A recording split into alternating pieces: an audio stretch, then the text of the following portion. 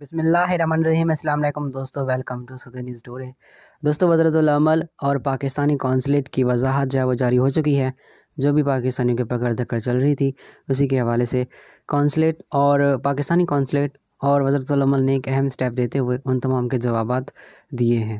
Pakistani consulate Jeddah نے مکہ region میں پاکستانیوں کو گرفتار کر کے شمیسی جیل بھیجنے کی خبروں کو بے بنیاد قرار دیتے ہوئے انہیں پاکستان اور وزرت العمل کے تعلقات کو خراب کرنے کی کوشش قرار دے دیا ہے۔ سنیچر کو ایک بیان میں جدہ کے کونسل خانے کی طرف سے جواب دیا گیا ہے کہ Pakistan consulate Jeddah social media کے کچھ حصوں میں جاری اس مہم کی سختی سے تردید کرتا ہے، جس میں یہ کہا گیا ہے کہ سعودی حکام مکہ مکرمہ گورنریٹ کے علاقے سے پاکستانیوں کو قید اور جلا وطن کر رہے ہیں۔ اس حوالے سے تحریری بیان میں کہا گیا ہے کہ کونسلیٹ کو متعلقہ سعودی حکام سے رابطہ کرنے پر بتایا گیا ہے کہ سعودی حکام تمام قومیتوں کے غیر قانونی تارکین وطن کو گرفتار کر کے انہیں ملک بدر کرتے ہیں۔ یہ مشق سال بھر میں مختلف اوقات میں جاری رہتی ہے۔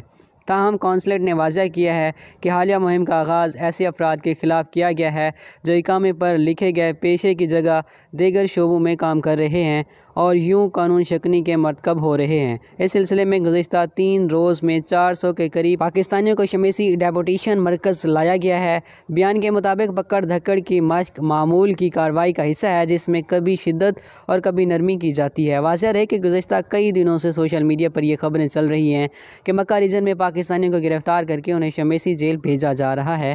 جدہ کے کونسل خانے کے مطابق واٹس ایپ فیس بک اور سوشل میڈیا کے دیگر ذرائع میں چلائی جانے والی افواہوں سے پاک سعودی تعلقات خراب کرنے کی کوشش کی جا رہی ہے۔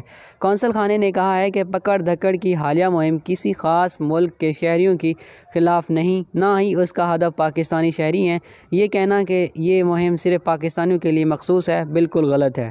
کونسل خانے کے بیان میں کہا گیا ہے کہ سوشل میڈیا کے ذریعے اس طرح کی خبروں کی تشہیر نہ پاکستانی کمیونٹی میں غیر ضروری اضطراب اور بے یقینی پیدا کر دی ہے۔ سوشل میڈیا کے کچھ حصے اسے گمراہ کن سیاسی زاویے کے طور پر پیش کر رہے ہیں۔ یہ پاک سعودی برادرانہ تعلقات کے مفاد میں ہے کہ اس طرح کے بے بنیاد اور غیر ذمہ دارانہ بیانات سے ہر قیمت پر گریز کیا جائے۔ کونسلٹ خانے نے مکہ ریجن میں مقیم پاکستانیوں کو یہ بھی ہدایت جاری کی ہیں کہ سعودی عرب میں پاکستانی کمیونٹی سے ہماری درخواست ہے کہ وہ پرسکون رہیں اور اس من گھڑت سوشل میڈیا مہم پر توجہ نہ دیں۔ پاکستان کونسلیٹ اس معاملے میں سعودی حکام سے مستقبل رابطے میں ہے اور پاکستانی کمیونٹی کے مفادات کے تحفظ کے لیے مقامی قواعد و ضوابط کے تحت ہر ممکن اقدامات اٹھایا جا رہا ہے۔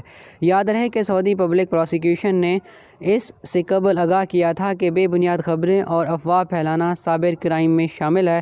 ایسی خبریں شائع کرنے پر تیس لاکھ ریال جرمانہ اور پانچ سال قید ہو سکتی ہے۔ دوستو، امید ہے آپ کو ویڈیو اچھی لگی ہوگی۔ اس ویڈیو کو بھی لائک کر دیں، اپنے دوستوں کے ساتھ بھی انفارمیشن شیئر کریں۔ اور میرے چینل سعودی نیوز ٹوڈے کو بھی سبسکرائب کر لیں۔ ملتے ہیں اگلی ویڈیو میں۔ تب تک اپنا خیال رکھیے اور اپنی دعاؤں میں ہمیں یاد رکھیے۔ اللہ حافظ۔